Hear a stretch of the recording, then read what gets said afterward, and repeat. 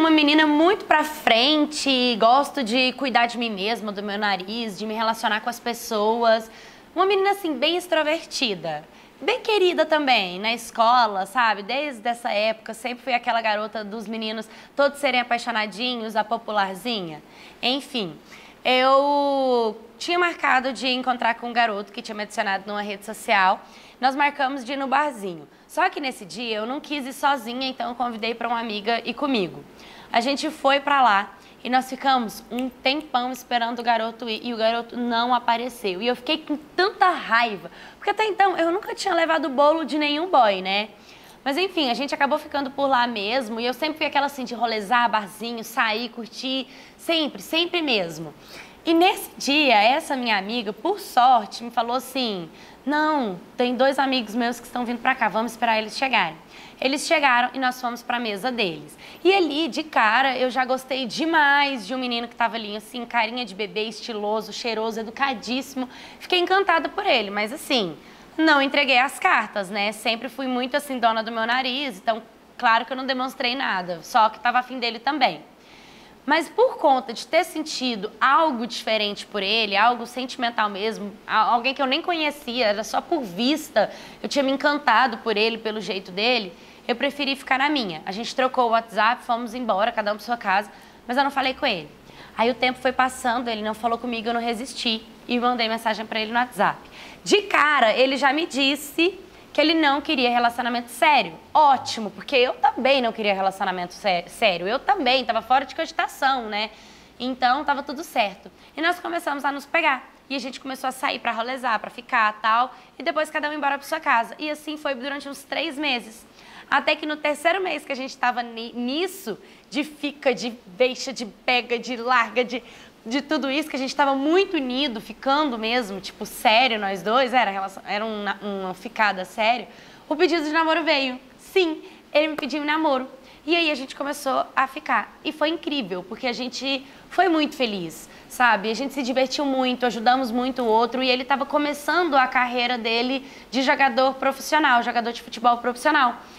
E eu sempre apoiei muito, sabe? Ele passou por muitas coisas, eu sempre dei a mão, eu sempre ajudei. Ele também, a gente sempre incentivou muito um ao outro. Várias vezes ele estava triste, ele estava para baixo e eu levantava, erguia, falava para ele quanto ele era profissional, que ele não podia desistir. E o nosso relacionamento foi baseado em, em um apoio, em suporte um com o outro, né?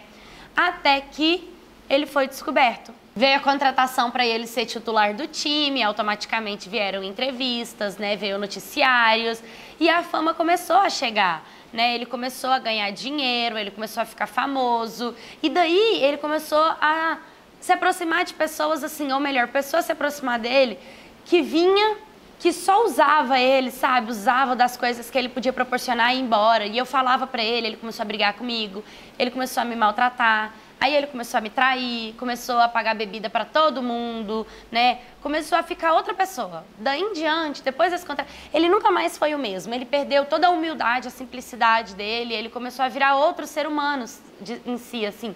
E o pior é que até hoje a gente fica.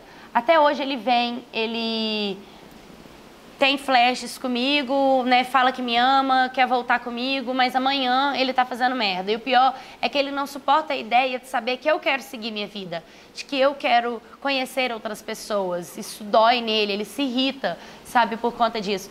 E eu fico muito triste, porque a pergunta que eu faço é: até que ponto o dinheiro e a fama vai levar o ser humano? Será mesmo que vale a pena deixar pessoas que sempre teve do seu lado por pessoas que apareceram só no momento da sua felicidade, em coisas momentâneas? Será que a vida no futuro não vai voltar e não vai cobrar essa pessoa?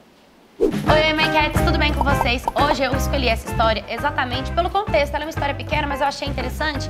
Fama, tem muitas pessoas que querem, mas muitas também não querem. Mas dinheiro, tem muitas pessoas que querem, a maioria quer. Quem não quer, né? Dinheiro. Mas quando a gente começa a ganhar dinheiro, a nossa vida começa a mudar, porque ah, não, eu vou ficar aqui. Não, você quer às vezes mudar de casa, mudar de carro, né, mudar de roupa, mudar às vezes um lugar que você nunca foi, você quer frequentar, uma viagem que você nunca fez, fazer. E automaticamente o mundo começa a mudar, os ambientes, as pessoas, os sentimentos que você tem, tudo vai deixando para trás, né? E você vai se tornando outra pessoa. E de fato, será que isso é bom será que isso é ruim? Até que ponto você tem que deixar as coisas para trás? Então, achei bem legal o conceito e eu espero muito que vocês me contem histórias sobre isso. Como foi a sua vida? Você já ganhou dinheiro e já perdeu dinheiro na vida? Você já teve muita coisa e hoje em dia você não tem nada? Você não tinha nada e hoje você tem muita coisa? Você se considera pessoa rica? Você abriu uma empresa? Você é feliz? Seus amigos são os mesmos amigos de antigamente? Me manda sua história para contar aqui no canal. Deixe nos comentários o que você achou do comportamento desse homem. Se você já conheceu alguém assim, curta, comenta, compartilha, se inscreva. Um beijo e até o próximo vídeo.